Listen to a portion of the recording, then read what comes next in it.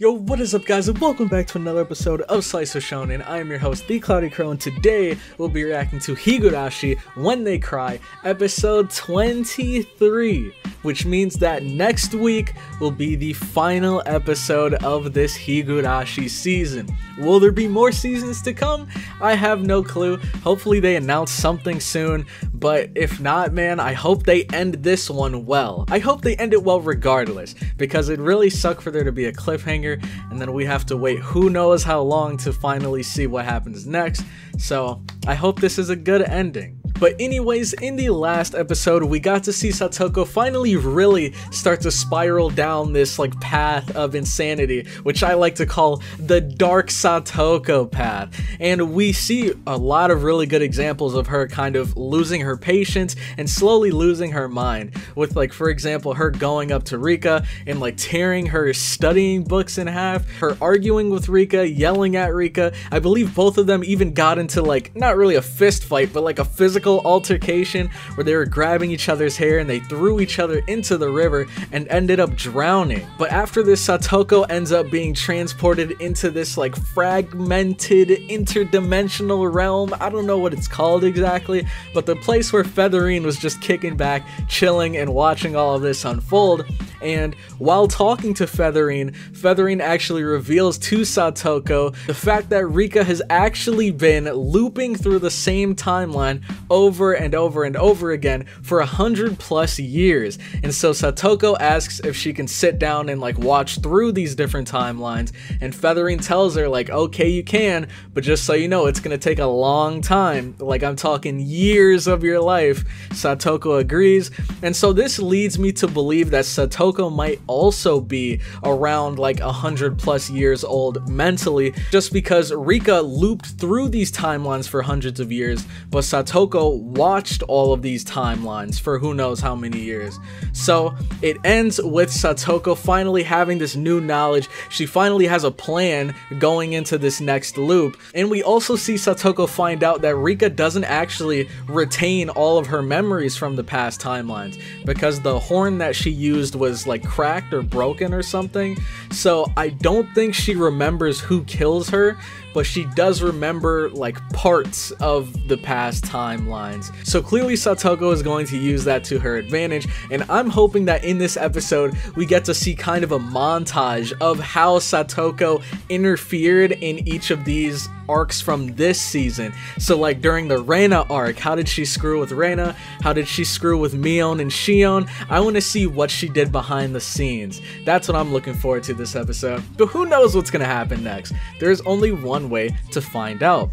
If you guys are excited for the episode, make sure to leave a like. It would help me and the video out so much more than you might think. So if you could take the time to do that real quick, I would very much appreciate it. And also consider subscribing to the channel for more weekly Higurashi reactions. The next week is going to be the last week, but we do also have a bunch of really cool anime lined up for next season, which I'll be explaining in next week's episode. So stay tuned for that.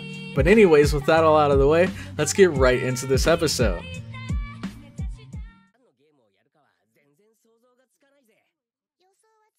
Yeah, except Satoko might. Oh no, what do you have planned here, Satoko? I'm surprised she just, like, revealed all of this to Keiichi, though.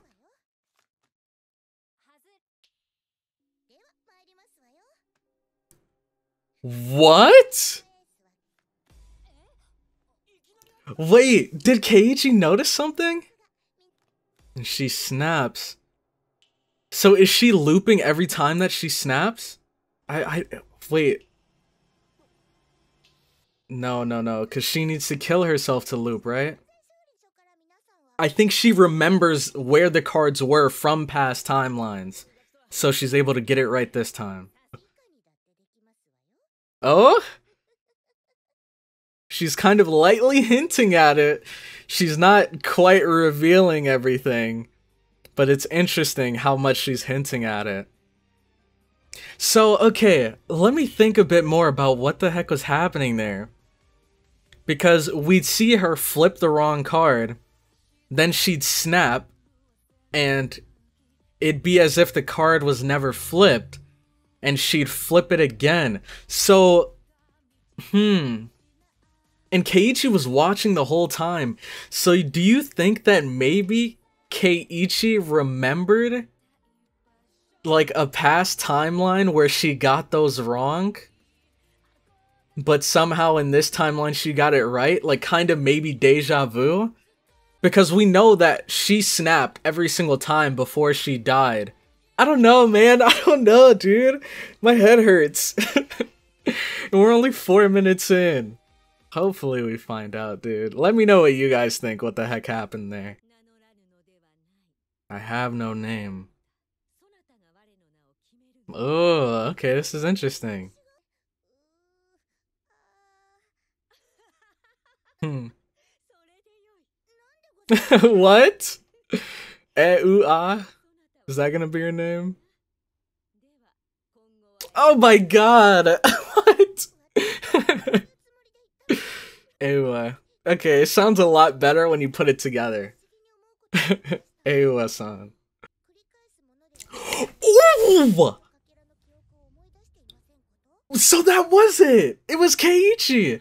And we noticed this in episode one! He remembered himself bashing their heads in. Dude, that makes sense. So Keiichi did remember her getting him wrong in a past timeline. Rena and Shion. Hmm? Who's she referring to?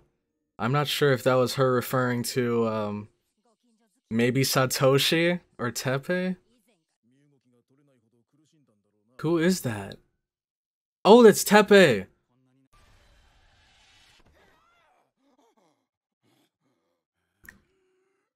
Oh, snap. Dang.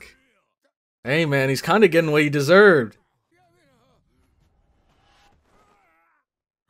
So he's remembering all these different timelines, and he probably had the closest connection to Satoko.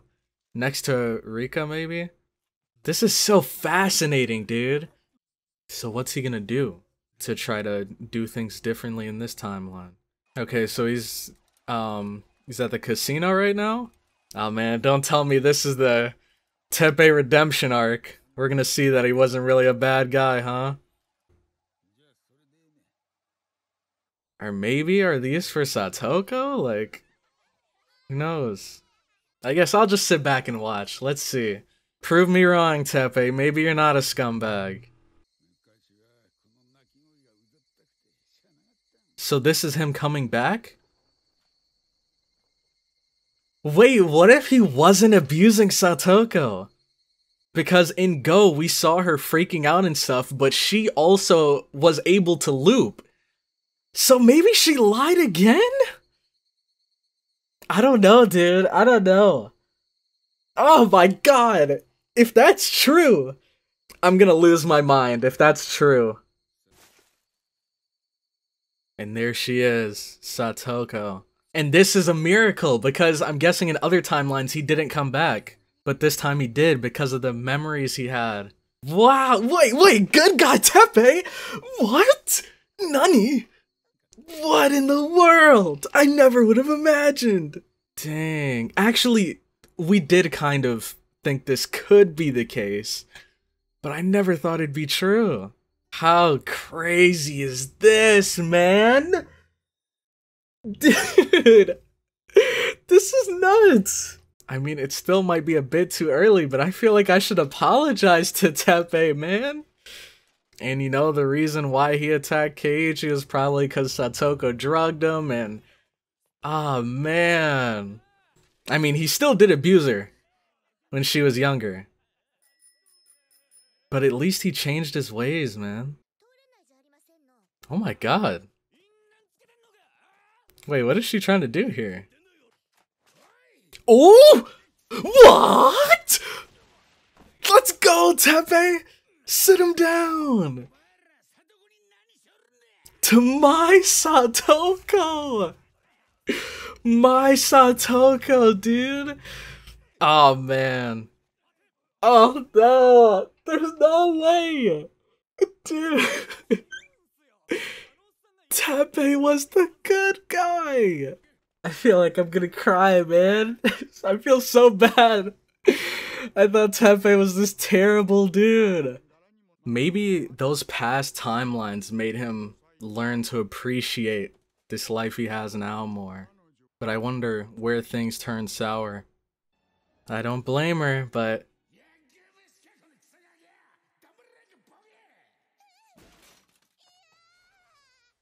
Yeah.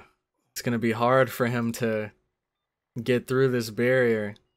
This is so beautiful, man.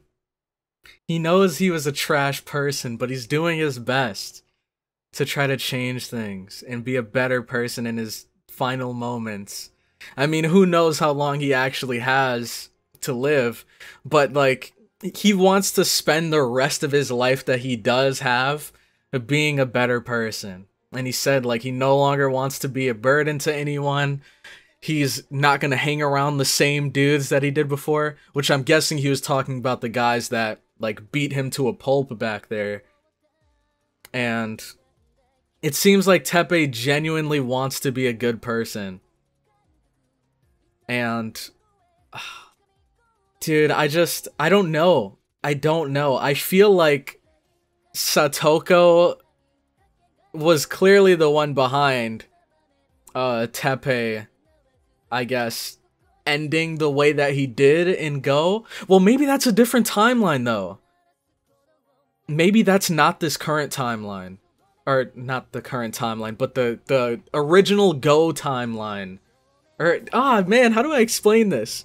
The timeline that we saw in the Satoko arc where we saw Satoko freak out in the middle of the class and all of that. Maybe that isn't the same timeline as this one where he's coming back. No, maybe it is. I don't know, dude. My brain is all over the place.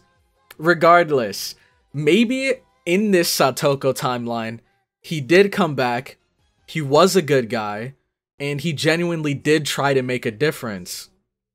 But my guess is that Satoko was probably pretending like he was still abusing her and she i guess garnered the concern of all of her friends to go and get the where they the cps or whatever their name is get them involved and then they came over and i think it was uh, the lead investigator detective delicious and Teppei. I think all three of those guys were in the room or in the home with Satoko.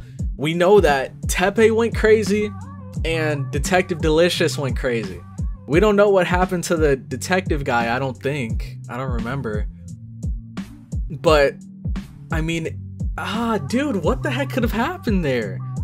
Like, I was hoping in this episode we'd get answers which we did for the Satoko arc, but there's still the Rena and the Mion Shion arc, and we still didn't get all of the answers from the Satoko arc. So, like, I really don't know what to think right now. Because we don't know what happened in that home on that day. My guess was that she used the, like, Hinamizawa syndrome injection stuff.